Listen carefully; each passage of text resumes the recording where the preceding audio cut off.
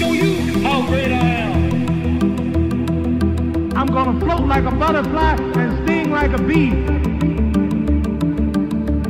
I am the king of the world. G5 Jeff TV, hit the subscribe button, hit the like button. Please share this video, support your boy. Support good content at all times. All social media is in the description box, and please hit that bell icon so you be notified when I drop that heat.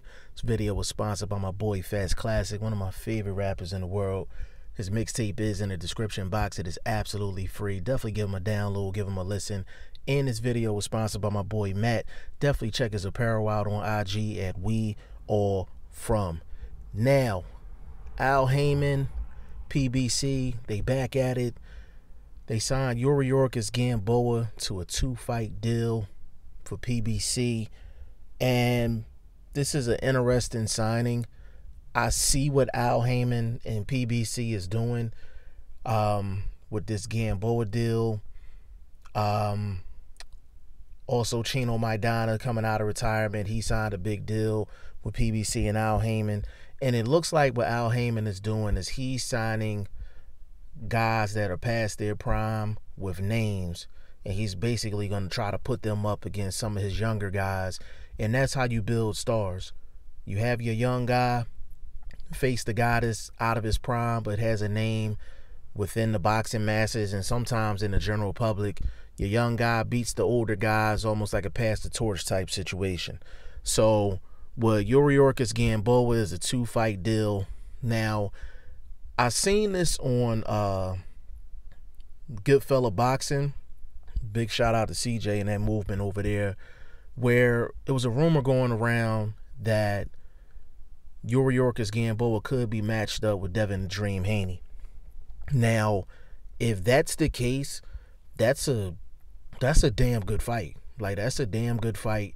And that's a classic situation that I just spoke of where you take the young guy versus the older guy that has a name but is out of his prime. Yuriorkis Gamboa, we all know him from basically stiffing Bob Arum and Brandon Rios back in the day and didn't show up for the press conference and he was supposed to fight Brandon Bam Bam Rios. Then we know him for signing on to 50 Cent and that didn't quite work out.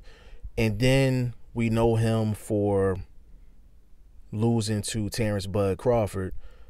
But I will say that Terrence Bud Crawford lost the first four rounds in that fight. And Yuriorkis Gamboa, he was looking real good early on in that fight. Gamboa is extremely talented.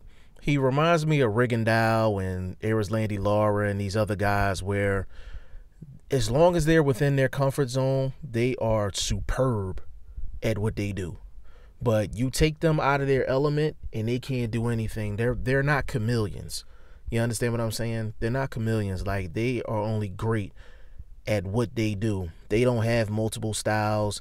A lot of times they don't get down and dirty. A lot of times they don't go the extra mile to try to get a decision or to try to get a win. Like they're always, if it was a car, they always in cruise control.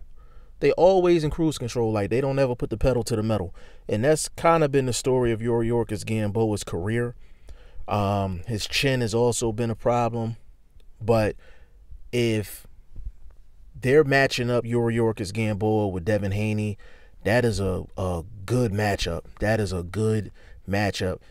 I'm gonna keep it real. I would expect for Devin Haney to win that fight, but that's not no easy pickings type fight for Devin Haney. That's a, definitely a step up in competition. And if Gamboa can win that fight, then that's a that's a beautiful thing for Gamboa. That puts him right back. That puts him right back into the mix at 135. Now he's better off fighting at 130 He's better off fighting at 130, but he'll be taking this fight presumably against Devin Haney at 135 and you know, it's a must win for both guys. If you Devin Haney, you can't lose again both. Like you you just can't. Your brand and how you're promoting yourself and you know, you're the youngest promoter in, in boxing history and people are touting you to be the next guy, you can't lose again both. Like point blank period. You can't lose again, Gamboa.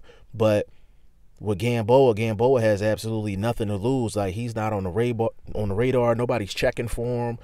Um, nobody thinks he's a top elite fighter anymore. But if he beats a Devin Haney, oh man, like now he's he's sitting on he's sitting on top of things at 135. Now he can go, he can fight multiple guys at 135. You understand what I'm saying? That will put him in line for that'll put him in line for a tank fight if uh Tank decides to move up to 135 from 130, and that's definitely a possibility. I think this is a good signing for Al Haymon and PBC. Not every signing is going to be a home run or a blue chip prospect, but you need guys like your Yuriorkis Gamboa on your roster because number one, you want to get them an opportunity. Number two, you want to put certain guys against Yuriorkis Gamboa and see what you have in some of your younger guys and that's the way to find out how much Gamboa has left in the tank. He beat some of these young guys, then, you know, that puts him in a good spot. Now, I thought Yuriorkis Gamboa lost to Jason Sosa. I thought Sosa definitely won that fight, but they gave a decision to Yuriorkis Gamboa. Um, I didn't think it was a robbery, but I thought Sosa won the fight.